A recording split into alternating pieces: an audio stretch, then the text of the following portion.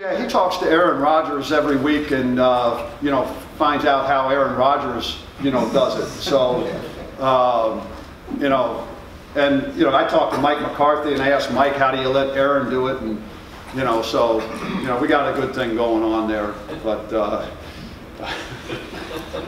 it is what it is, you know. I mean, uh, he's got class, you know, and he's got to graduate. He's taken one class to graduate. And the one, the one thing I'll say about James, James is, James is a totally different kid this year than he was a year ago. Totally different. You know, and I like it. I see him smiling, you know, and, and enjoying himself. And uh, I don't know what that, you'd have to ask him, not, you know, that question, but I just see a guy, and you know what? He's, he's working to be a leader, and he is doing the things. He's doing all the work that he has to do to prepare himself. And, you know, you sit here as a coach, and, you know, it's something that you don't like to do, you know, because now what I'll have is I'll have guys coming in next year, you know, and they'll miss Tuesday and Thursday practice and say, well, coach, you let James play, so why, why can't I do the same thing, you know?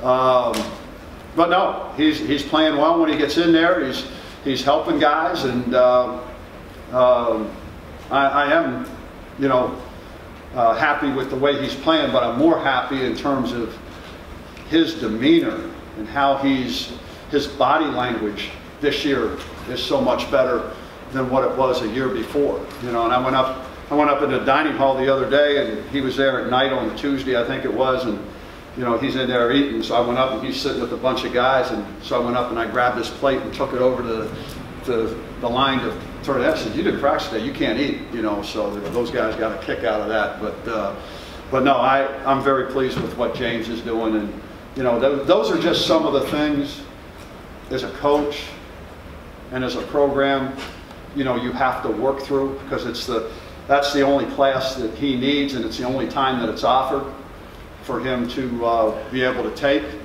And, um, and the good thing is, you know, he's putting in the work and not trying to take advantage of the situation. Um, you know, he's studying and knows the game plan and, and everything else. Um, it's definitely hard, um, but I make sure that um, I stay up on my plays. I study. Uh, I always watch the young guys and help them out and teach them some more technique and stuff like that. On top of like what coach is telling them, I always link up with uh, Coach Dot um, we talk and uh, we go over the plays and what things that I miss, and uh, always supplement it with something else. But it's definitely hard because I want to practice with my teammates. It's my last year, you know. I want to be around them as much as I can. Yeah, yeah. I I ask them. I always ask them like uh, I always test them on their plays and stuff like that on both ends. Uh, um, like Luau and um, Travis and uh, Jonathan, I always test them on their plays to make sure they know both sides of both sides of the ball and uh, stuff like